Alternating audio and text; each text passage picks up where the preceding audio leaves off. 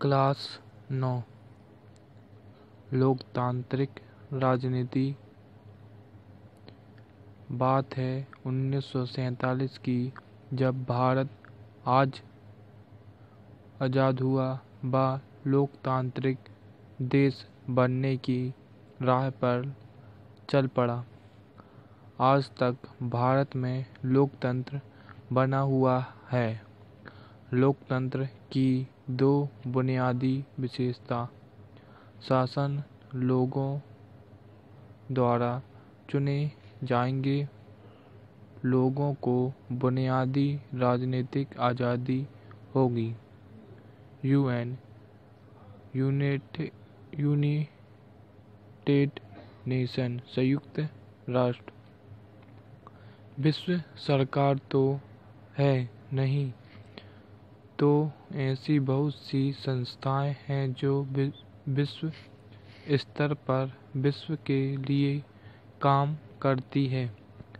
आवश्यकता होने पर सहायता करती है व, विवाद का निपटारा, साथ ही विपदा के समय सहारा देती है। यूएन ने बहुत से नियम बनाए हैं। जो ज़्यादातर देशों पर लागू हैं।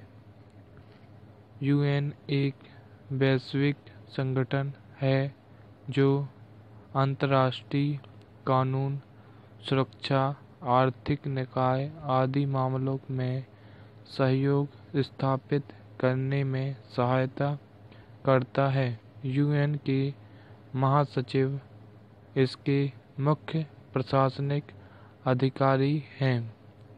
लोकतंत्र एक ऐसा रूप है, शासन का, जहाँ जनता अपने शासकों का चुनाव करती है। लोकतंत्र की विशेषता, पहला अंतिम निर्णय लेने की शक्ति उन्हीं प्रतिनिधियों में होती, होनी चाहिए जो लोगों द्वारा चुने गए हों। दूसरा, लोकतंत्र। निष्पक्ष व स्वतंत्र चुनावों पर आधारित होना चाहिए। तीसरा, हर वयस्क को वोट का अधिकार व हर वोट का मूल्य समान होना चाहिए। चौथा, एक लोकतांत्रिक सरकार, संवैधानिक कानून व नागरिक अधिकारों की लक्ष्मण रेखा के भीतर ही काम करती है। लोकतंत्र की कमियाँ। पहला, नेता बदलते रहते हैं, जो अस्थिरता को जन्म देती है। दूसरा, नैतिकता की कोई जगह इसमें नहीं है, मात्र यह सत्ता का खेल व राजनीतिक लड़ाई है। बहस व चर्चा की वजह से फैसलों में देरी होती है। चौथा, बहुत से चुने गए नेताओं को लोगों के हितों का पता ही नहीं होता व वे गलत फैसले लेते हैं। पांचवा, चुनावी लड़ाई तो खर्चीली है ही साथ में भ्रष्टाचार भी है। छठवा सामान्य लोगों को तो अपने भले बुरे का ज्ञान ही नहीं होता।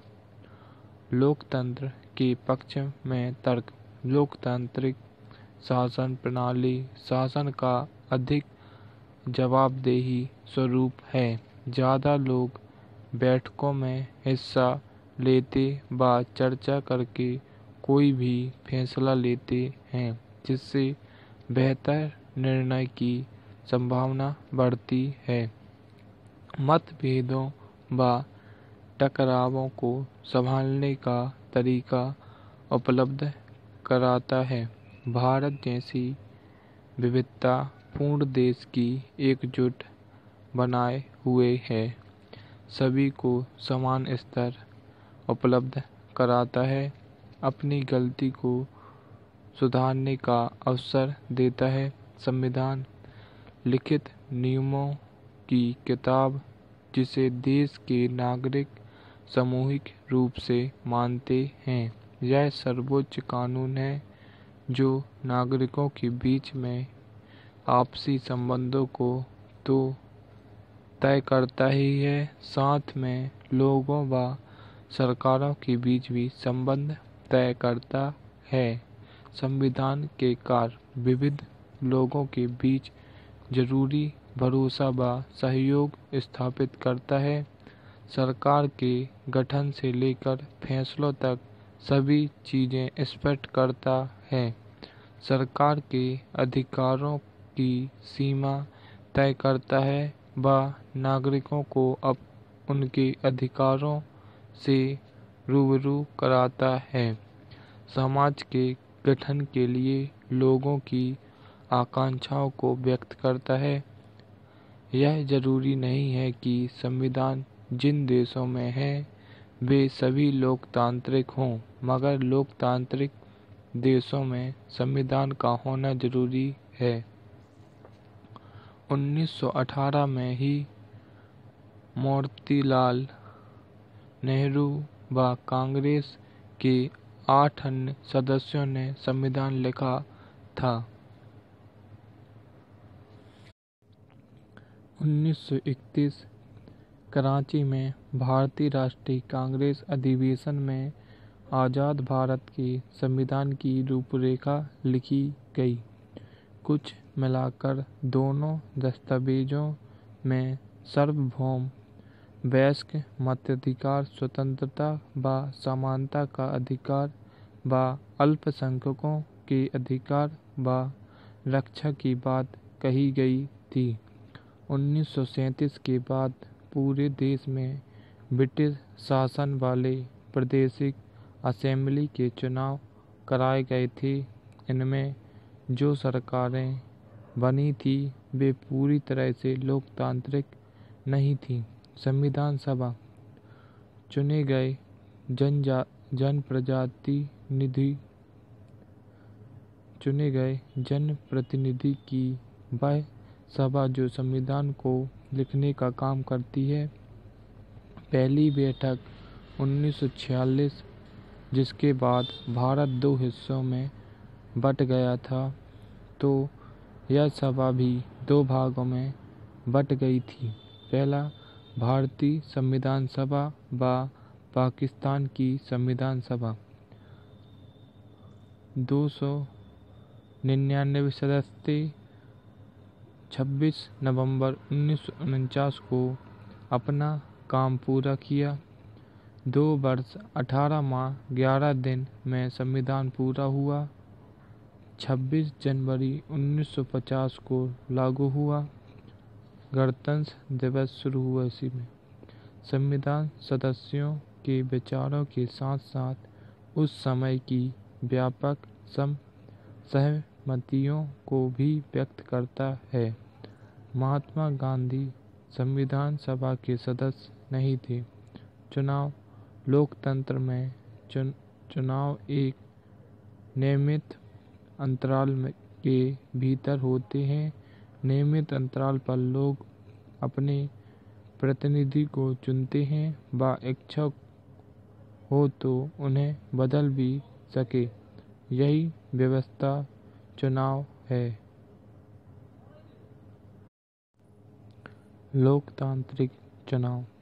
सभी को मत का समान अधिकार हो पार्टियों व उम्मीदवारों को चुनाव में उतरने की आज़ादी हो। चुनाव नियमित अंतराल पर हो। जिसे लोग चाहें, वास्तव में उसी का चुनाव हो। चुनाव स्वतंत्र व निष्पक्ष ढंग से हो। चुनाव का अर्थ राजनीतिक, प्रतिद्वंदित या राजनीतिक प्रतियोगिता है। होनी ज़रूरी थी है। अगर नहीं होगी तो चुनाव बेमानी हो जाएगी। चुनाव प्रणाली। लोकसभा व विधानसभा में हर पाँच साल बाद चुनाव होते हैं। पाँच साल के बाद सभी चुने हुए प्रतिनिधियों का कार्यकाल समाप्त हो जाता है।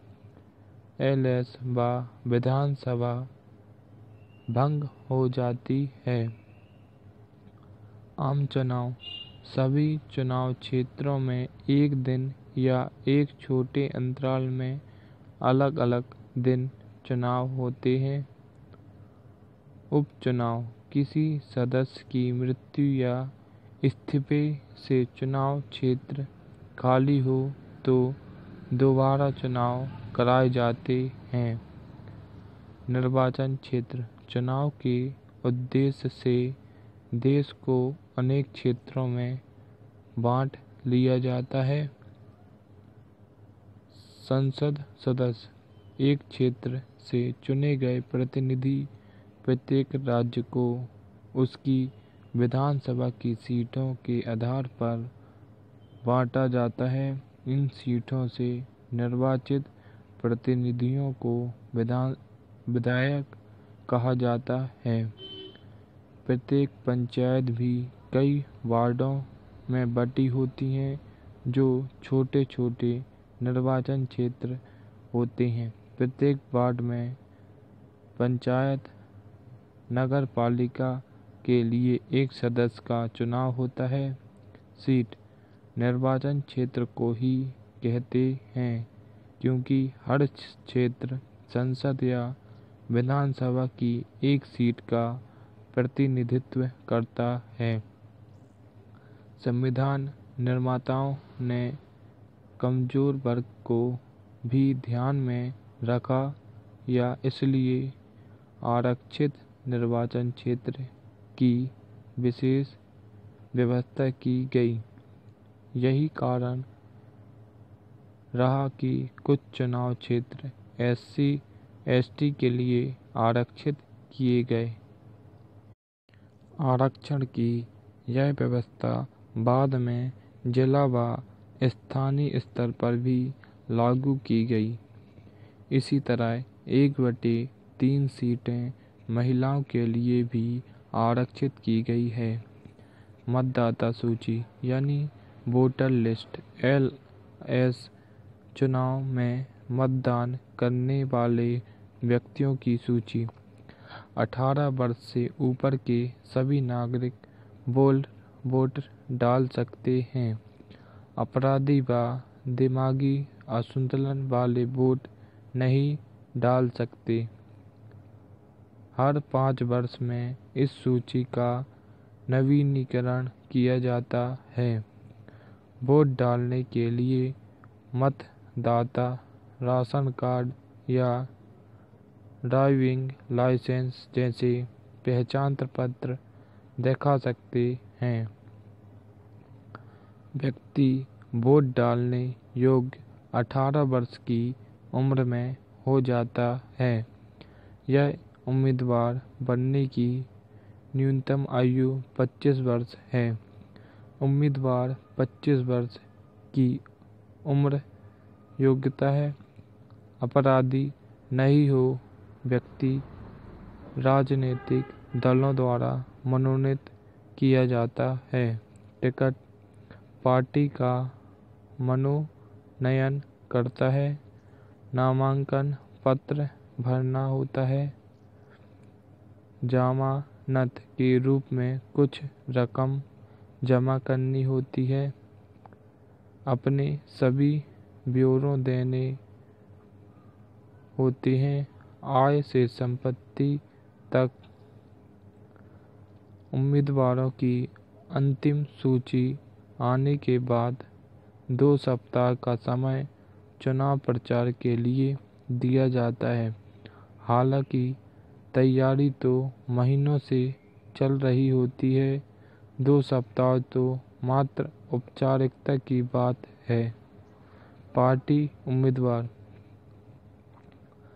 मतदाता को लोभ, घूस, धमकी नहीं दे सकता।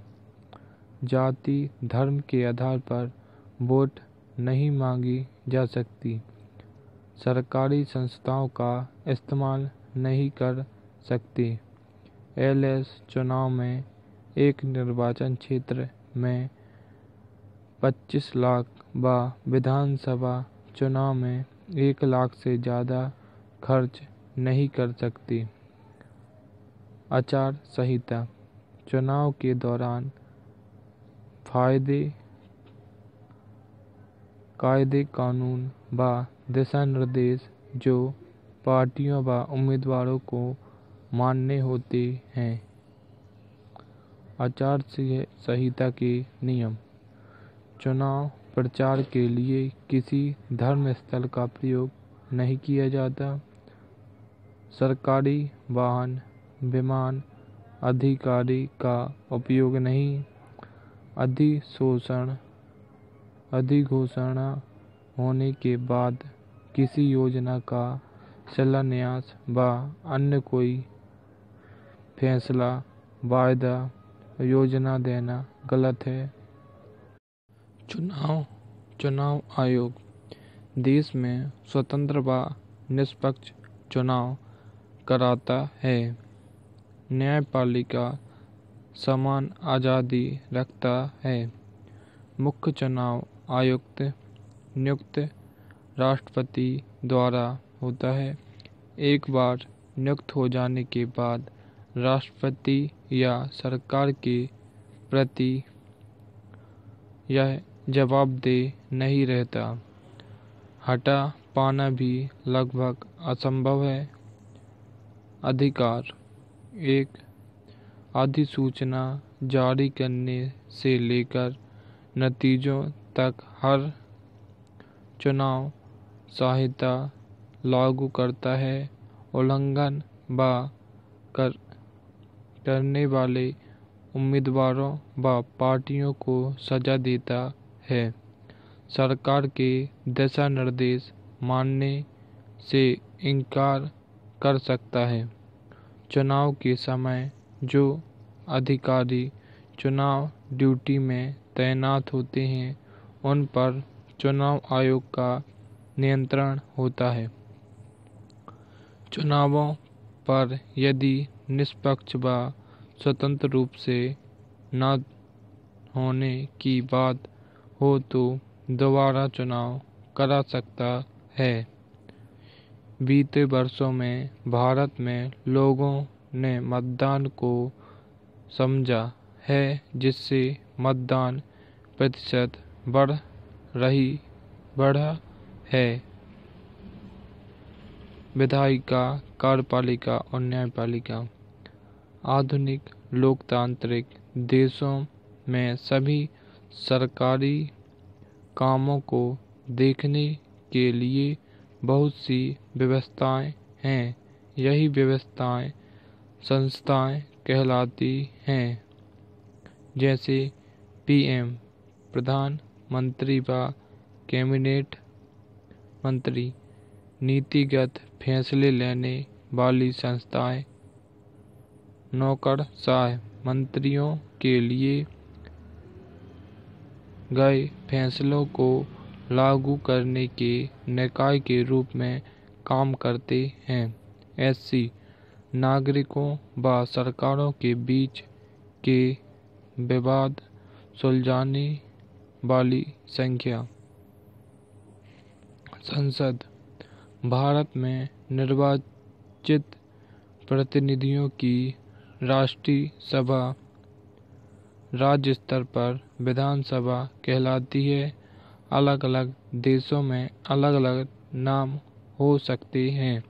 कार, कानून बनाना विधायिका कानून बनाने, विधि निर्माण, सभाएँ कानून में संशोधन कर सकती है, समाप्त कर सकती है व नया कानून ला सकती है। सरकार के हर फैसले पर इसका नियंत्रण है। सार्वजनिक पैसों को इसकी मंजूरी के बाद ही खर्च किया जाता है।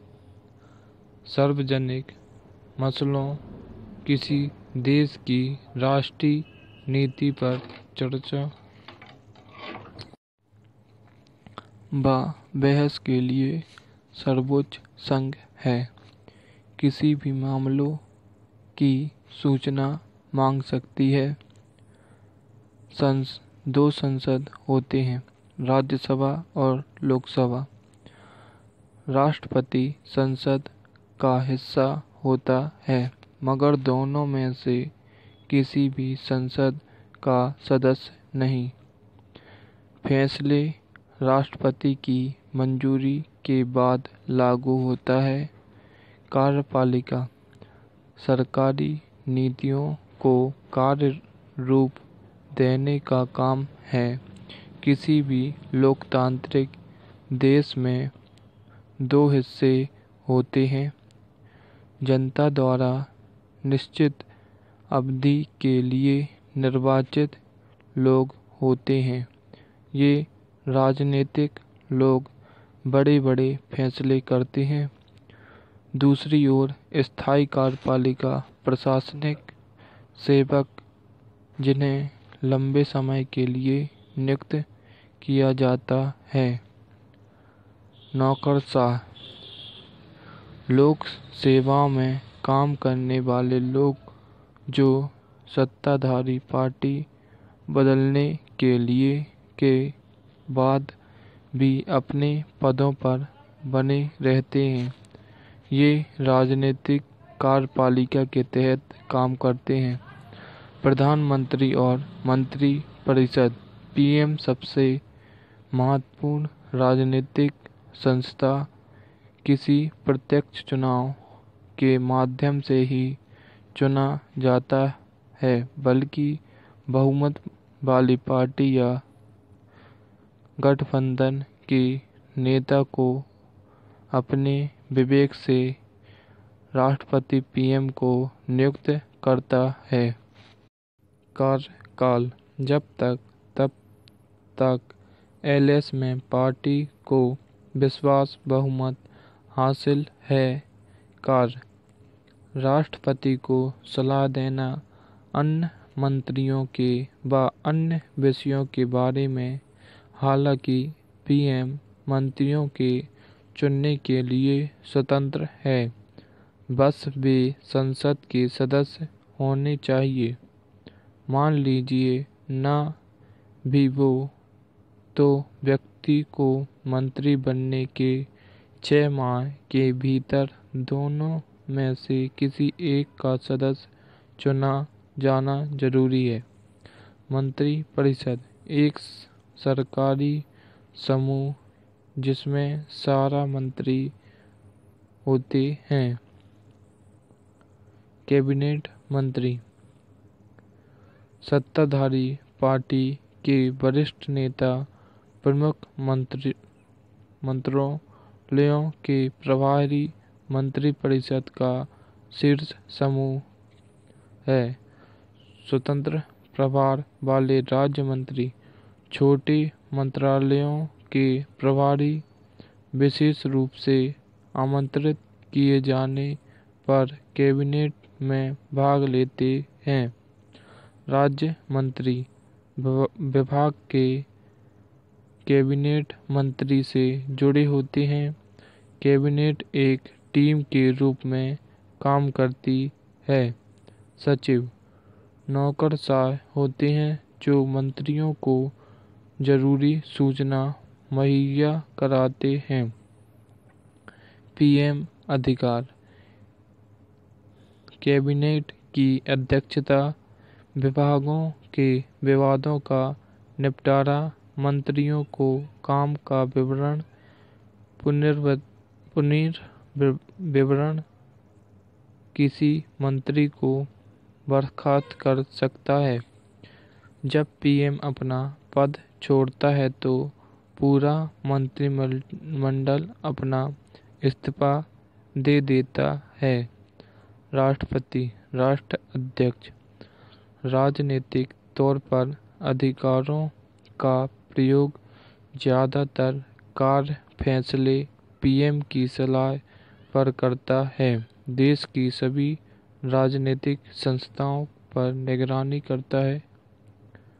चयन संसद सदस्य और राज्य की विधानसभाओं के सदस्यों द्वारा सभी गतिविधियाँ इसके नाम पर होती हैं।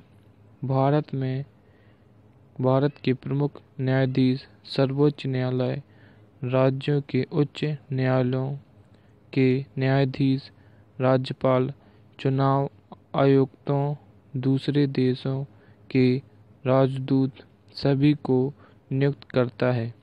अंतर्राष्ट्रीय संधि समझौते इसी के नाम से होते हैं। भारत के रक्षा वाले भारत के रक्षा बलों का सुप्रीम कमांडर होता है। स्व विवेक से गठबंधन न हो पाने वाली स्थिति में पीएम को चुनता है।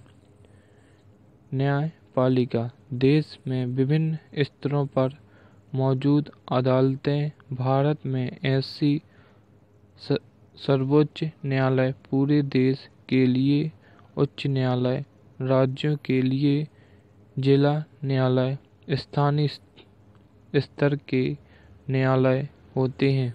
भारत में एकीकृत न्यायपालिका है। ऐसी इसका फैसला सभी अदालतों से ऊपर होता है। विवाद निपटाता है। देश के नागरिकों के बीच नागरिक व सरकार दो या दो से ज़्यादा राज्य सरकारों के बीच, केंद्र व राज्य सरकारों के बीच फौजदारी व दिवासी मामलों में अपील की सर्वोच्च संस्था है न्यायपालिका की स्वतंत्रता। अर्थ, यह विधायिका व कार्यपालिका के नियंत्रण में नहीं है। एससी के व एच सी के न्यायाधीश राष्ट्रपति नियुक्त करेगा। पीएम की सलाह पर एससी के प्रमुख न्यायाधीश के मशवरे पर न्यायालय के वरिष्ठ न्यायाधीश एससी व एच सी के न्यायाधीशों को चुनेंगे। मुख्य न्यायाधीश एससी के सबसे वरिष्ठ न्यायाधीश को नियुक्त किया जाता है। घटाने के लिए महाभियोग चलाया जाता है। दोनों सदनों में अलग अलग दो बटे तीन बहुमत से अभी अविश्वास प्रस्ताव पारित करित, करके विधायिका का कोई कानून या कार्यपालिका की कोई कार्यवाही उन्हें संविधान के खिलाफ लगने पर उसको अमान्य घोषित कर सकते हैं। एससी ने फैसला दिया है कि संसद संविधान के मूलभूत सिद्धांतों नहीं बदल सकती। जनहित याचिका सरकार की किसी कार्यवाही से यदि किसी जनहित को ठेस पहुँचे तो वह अदालत में जा सकता है। अधिकार, किसी व्यक्ति का, अपने लोगों, समाज व सरकार का किसी विषय की, को लेकर दावा करना। बशर्ते इसका दावा किसी की मुश्किल कष्ट की बजाय ना हो। अधिकारों को असली ताकत तभी मिलती है जब वे लिखित, पढ़त में आते हैं।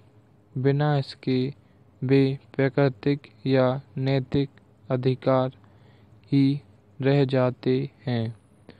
नागरिकों को यदि लगे कि उनके अधिकारों का हनन व शोषण हो रहा है तो वे इसके बचाव के लिए अदालत में जा सकते हैं।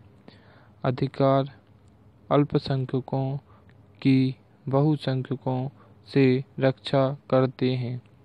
भारतीय संविधान छः मौलिक अधिकार प्रदान करता है। पहला, समानता का अधिकार।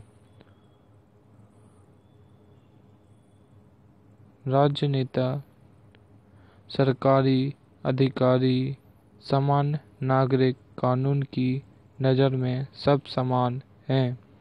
पीएम से लेकर मामूली व्यक्ति सभी के लिए समान नियम, धर्म, वंश, जाति के आधार पर कोई असमानता नहीं, सब बराबर होंगे। दूसरा, स्वतंत्रता का अधिकार। अभिव्यक्ति की आज़ादी बोलने लिखने शांतिपूर्ण बैठक करने जुलास निकालने का अधिकार देश के किसी भी हिस्से में आने जाने, रहने बसने की आज़ादी, संगठन, संघ बनाने की आज़ादी, अपनी इच्छा से कोई भी काम धंधा चुनने, करने की आज़ादी, तीसरा, शोषण के खिलाफ अधिकार। नागरिक का कोई शोषण नहीं कर सकता। संविधान में तीन बुराइयों का ज़िक्र भी किया गया है, जो कि गैर कानूनी भी घोषित है। पहला, मनुष्य जाति, खासकर महिलाएँ, का अवैध व्यापार। दूसरा, किसी ने जबरन बगैर लेना या काम कराना व बंधुआ मजदूरी कराना। तीसरा, बाल मजदूरी। चौदह वर्ष से कम उम्र के बच्चों को मजदूरी पर नहीं रखा जा सकता। चौथा, धार्मिक स्वतंत्रता का अधिकार। कोई किसी भी धर्म को अपना सकता है व अपने धर्म का प्रचार प्रसार करने के लिए स्वतंत्र है। औरतों का शोषण करने वाले रीति रिवाज जैसे विधवा मंडन व विधवा का जबरन श्वेत वस्त्र धारण गलत माना गया है। पांचवा, सांस्कृतिक व शैक्षिक अधिकार। अपनी नागरिकों को विशिष्ट भाषा व संस्कृति को बचाने का अधिकार है।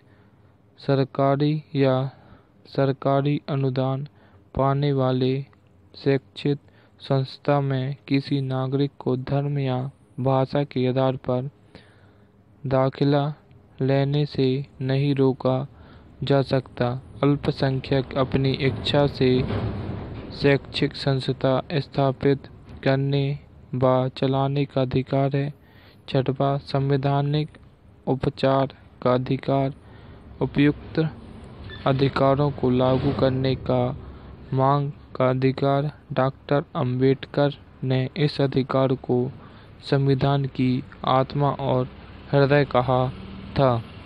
मौलिक अधिकार, विधायिका, कार्यपालिका व सरकार द्वारा गठित किसी भी प्राधिकारी गतिविधि व फैसलों से ऊपर होता है।